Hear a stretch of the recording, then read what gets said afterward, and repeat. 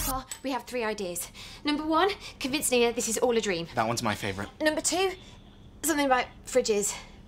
Yeah, no, that never really developed. Uh, number three, kill ourselves and frame her for the murder. Yeah, thanks, Dylan. It's not all mine. Sorting CSI. Oh, Zoe, laters. Dylan, where are you going? Seeing Zoe. Got nine shags to go. So I have an idea, but you're not going to like it. Oh, no, go on then. What if we hand Dale into the police and he takes the rap for everything? Wow! That's a great idea. I knew there was a way out, you brainy box. Good job, buddy. I'll just go to jail. Uh, how long will I be there? Five, ten years? I'll be out before you can say lickety split. Dale, you do not want to go to jail. You know what happens to athletic young men in jail?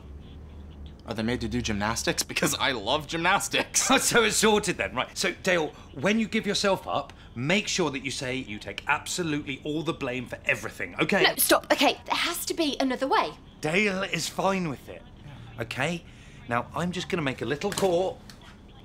Rachel, I know it's hard, but you will thank me when Dale is in jail and we are not in jail. Okay? Quick, stop him.